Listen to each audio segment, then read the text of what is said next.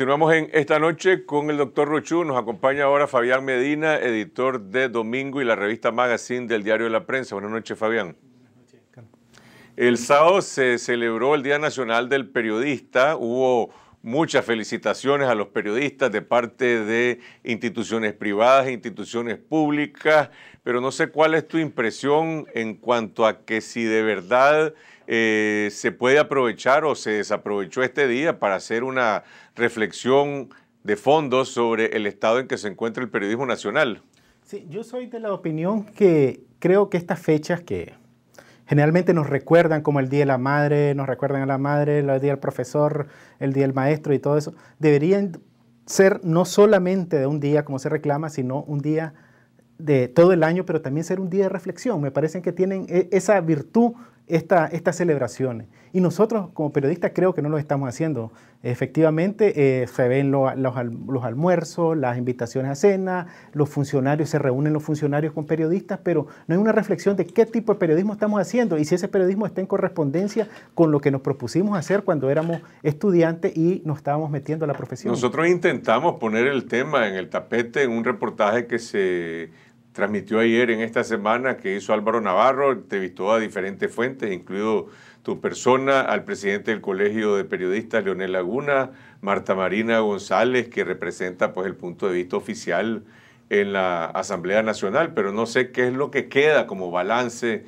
de esas voces distintas. Creo en primer lugar la posibilidad de que haya una lectura correcta de que caben distintas voces, que es lo que nosotros hemos reclamado a través de, estos años, en, un mismo programa. Y que eso permite la posibilidad que cuando se los inviten, que lo que vas a llegar es a, a tener un diálogo, a hacer tus planteamientos, porque el balance final para mí es que hubo dos lecturas, que eso te evidencia una vez más. Eh, la lectura que hizo Marta Marina es que eh, vuelve a insistirse en una verdad, que fue un poco lo que dijo Miguel Mora, de que no hay censura porque no se cierra en medio, que no hay censura. no hay nadie preso. Sí, pero yo creo que ya esa, y, esa lectura ya, ya esa lectura es absolutamente desfasada. Las nuevas formas de censura, y esto lo reconoce, fíjate vos, el, representante pues para, para el tema de, de, Naciones Unidas para la Libertad de Expresión, para la OEA, para la OXE y para África, que te dicen ahora que, es lo que está establecido en, el en el artículo 7 de la Declaración de Chapultepec, que es que no se puede usar la publicidad oficial de manera privilegiada, Carlos, porque eso constituye una censura indirecta, que no puede eh, otorgar la, la frecuencia a determinadas personas como premio castigo, porque eso constituye una censura indirecta, que los gobernantes cuando intimidan a los periodistas también cometen un acto de censura. Es decir, yo creo que el centro de gravedad de las formas modernas de censura se ha movido. Y muchos periodistas, yo no sé por qué, no dicen cuál es la situación real que se está viviendo. Pero ahí se dijeron algunas cosas bastante francas. el lunes pasado en este programa, que aparece citado aquí, este, Adolfo Pastrán dijo de que algunos anunciantes privados están evitando anunciarse en medios independientes porque no quieren eh, molestar al gobierno, por una parte. Sí, mira, lo que pasa es que se ha instalado en el país, creo yo, un modelo de, de comunicación que, se, que yo le llamo como una especie de apartheid, que hay un tipo de comunicación en un sector y hay otro tipo de comunicación en un sector y no hay cruces, no no hay cruces entre uno y otro. Yo creo que la gran reflexión que nosotros como periodistas podemos hacer eh, si estamos desempeñando nuestro papel es que tenemos que reconocer que los periodistas somos intermediarios entre los que nos leen, nos ven o nos escuchan y los que tienen que contestar las preguntas que nosotros le vamos a hacer. Y yo creo que ahorita como intermediarios tenemos una gran deuda, que es que no le estamos contestando las preguntas que se deben hacer. Vos hace poco mencionabas, por ejemplo, lo, del, lo de la posibilidad del, de la, una base rusa en Nicaragua. ¿Quién contesta esa pregunta? No hemos podido encontrar a la persona indicada para contestar. Obviamente eso tiene que perdón, ver... vos hablas de contestar las preguntas, pero ayer, no sé si era vos o alguien decía, hay que hacer las preguntas. ¿A quién le haces la pregunta? No, claro. la señora Murillo habló hoy y habla todos los días, pero habla en un llamado, en una llamada telefónica a un medio oficial. ¿Cómo le puedes preguntar algo no, a ella? Exactamente, a eso me refiero, que no es, en este modelo que se ha instalado nosotros no tenemos capacidad ahorita de que estas personas que están obligadas a contestar contesten porque nos lo han impedido el modelo que se ha establecido. O sea, nosotros no tenemos cómo ahorita contesten estas personas, doña Rosario Murillo y otro montón de preguntas que hay. Ni siquiera los periodistas oficialistas pueden hacerle estas preguntas a estas personas porque los periodistas, el, poder está pidiendo, está dando las preguntas que se le deben hacer. Entonces hay una gran deuda con la sociedad del periodismo y esa es la reflexión que nosotros deberíamos de hacer. Ahorita que el periodismo está eh, pecho en tierra ahorita por esta misma situación que se ha instalado.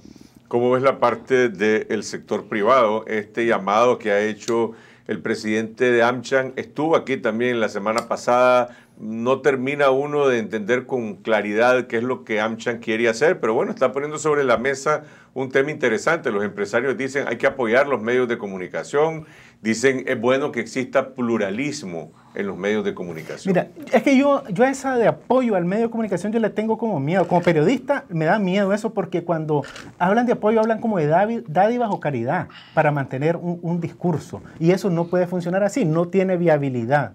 Lo que se debe hacer es que dejen hacer periodismo, porque muchas veces los, los, empresarios son responsables de, que, de esa censura o esa autocensura que se establece en los medios ante la posibilidad de perder anuncios o perder anunciantes. ¿De qué manera son responsables? Porque hay, hay, hay manejos de, de los empresarios de retirar los anuncios o condicionar sus anuncios en algunas publicaciones, principalmente en las más débiles, en las que tienen menor capacidad de reclamo. Pero fíjate que Alfredo estuvo, lo invité yo a una cátedra abierta a la universidad y platiqué sobre el tema. Y él me dijo que va a seguir insistiendo en esa línea porque él escuchó incluso las críticas que le formuló aquí mismo Pastrán, que fue que dijo, ya, pues este es un llamamiento, igual lo que estaba planteando ahorita Fabián, es un llamamiento general. Pero él no, me dice, es que yo estoy convencido, me dice que los empresarios deben, deben, hoy bien, imperativo, en esos otros medios, porque nosotros no podemos aceptar, dice, como empresario, que haya una sola visión y que haya solo una versión de los hechos. Y, señaló dos aspectos que creo que le convienen a los empresarios. Uno dice, esto no tenemos una visión real de lo que acontece en el país y esto, dice también, afecta la inversión en Nicaragua. Yo creo que son dos razones muy realistas las que está planteando Artiles. Ahora, lo que dice Fabián es cierto, hay una, hay, una especie de temor de, de los empresarios porque creen que se van a mal disponer con el gobierno en vista de esa polarización que mantiene el gobierno con los medios y que le está resultando exitosa, entonces ellos nos vamos a mal disponer, mejor no, mejor no hagamos nada.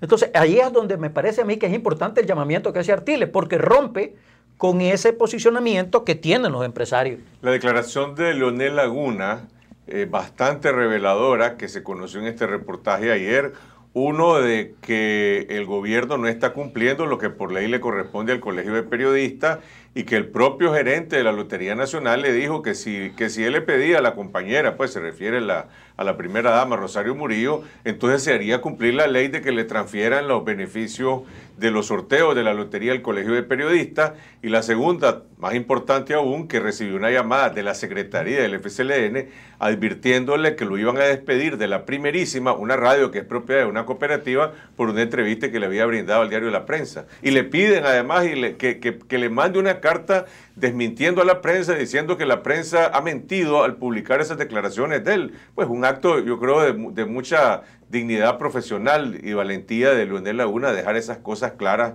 sobre su actuación pública, pues. Sí, fíjate que esas declaraciones eh, fueron un poco sorpresivas y no me las esperaba de, de, porque la tradición ha sido aquí que todas las personas que están ligadas a este, al poder, ya sea como funcionario o como personas que de alguna manera han entrado en ese círculo eh, de, poder, el comportamiento, una vez que son excluidos, que son castigados por algún comportamiento, es de amedrentamiento y de callarse. ¿ya? En este caso, yo creo que hay que reconocerle a Leonel Laguna dos cosas. Uno, en primer lugar, que eh, tuvo la valentía, la dignidad, como vos decís, de decir lo que había sucedido, algo que le puede traer consecuencias, porque generalmente no se hace eso por, por lo mismo, volvemos, hay un sistema que usa el miedo para lograr propósito, ah, ya sea con los empresarios, ya sea con los periodistas, ya sea con funcionarios. Entonces, había el miedo de las consecuencias que puede traer una vez que son castigados, que son... Eh, eh, eh, que dejan un cargo de lo que les puede ocurrir si dicen lo que sucedió realmente.